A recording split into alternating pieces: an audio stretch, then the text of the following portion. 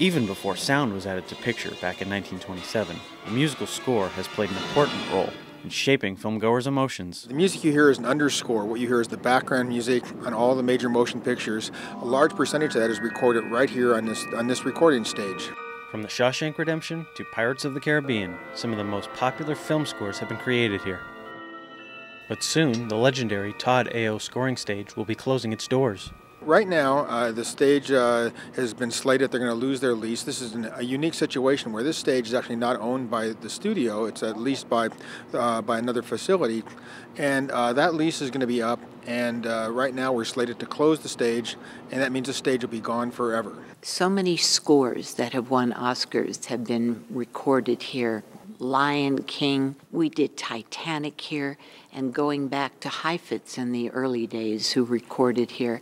This is really our most historic stage, and I'm told the largest facility not only in the United States, but perhaps in the world. I've been in here for 18 years. I haven't recorded in any other recording stage in LA. And when I started working here, it was just like home. There is a strong sense of history and family within the walls of this stage.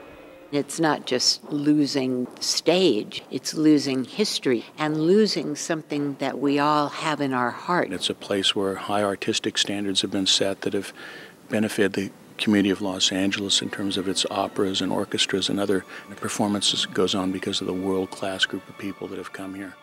But there's more than just tears involved with the closing of the stage. There's an issue that threatens to change the face of film scoring in Los Angeles.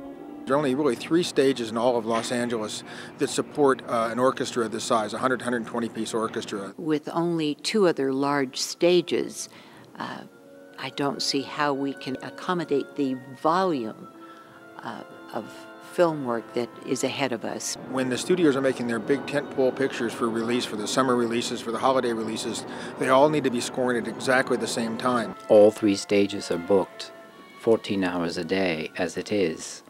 Now, where do people take their movies to get scored when there are only two stages?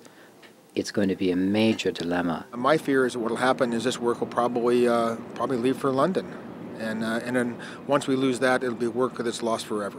What's worse is, uh, I would say, probably in terms of the motion picture work for, for musicians working in this industry, about 20% of that work happens right here on this stage.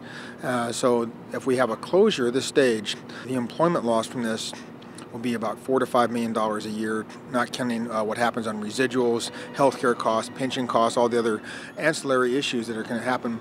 But uh, literally millions and millions of dollars for hundreds and hundreds of musicians on a daily basis will be lost in terms of employment. It'll have an, an economic impact, an unnecessary one. This is not a case of uh, our losing jobs, but we're now going to be sending jobs away that want to come here having a healthy recording business here also impacts the uh, other businesses, the opera uh, pools on the same group of musicians, uh, various orchestras in town, other chamber music ensembles.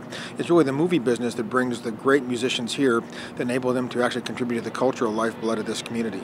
In the center, the universe of movie making, there are only two scoring stages capable of doing this. If you took sound stages away or 4,000 film cameras away, what would people do without film cameras? You know, it's the same sort of thing. It's just there's no place to record. And eventually that will take its toll on people won't be able to record in LA, and hence the outfall of that is if they're going out of the city, they're not using LA musicians, of course. And if they're going out of the country, they're not using American Federation of Musicians at all. So when the stage closes in December, it will leave behind two decades of movie music magic. And although it seems the fate of the stage has already been decided, many are still hoping for a Hollywood ending. We're hoping that people will realize both the historical uh, importance of this stage. This is the only stage that was actually built and designed for a, for a scoring stage. All the others were converted from other facilities. Uh, this one was made from the ground up as a, as a scoring stage. It's a stage we all love and respect, and it's hard to imagine life without Todd-AO. I'm devastated that this place is gone.